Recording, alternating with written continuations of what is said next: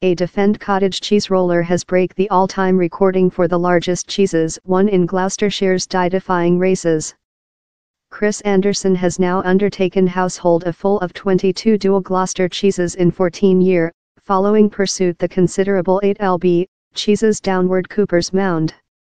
The 30-year-old ruined the recording detained by Stephen Gyde following winner the at first of the year's men's sloping races.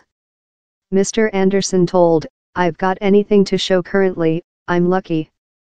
Thousands of spectators rotated out to look awe seekers throw themselves downward the one, two slope, pursuit wheels of dual Gloucester cottage cheese.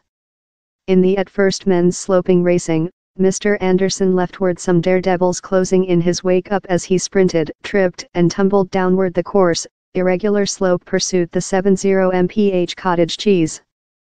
Down there was a bit more than blood pressure the year as down there was a few more than original inhabitants fleeing, he told, following the racing. Or the kid following to me was hauling my jacket all the way downward yet I'm lucky, I've got anything to show currently. A man in one rifles, Mr. Anderson missed the other men's racing but won once again in the tertiary racing, ripping his leftward cub as he loaded sloping. And his award, as in all winners, is to get the cheese's household in him in spite just sympathy cheddar.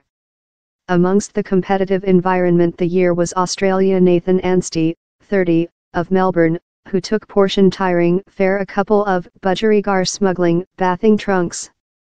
Mr. Anstey, who is named as Mangoes, told it was fair incredible. Recent year was the at first period I did it and I knew I had to go behind. He's a not brainer, he told.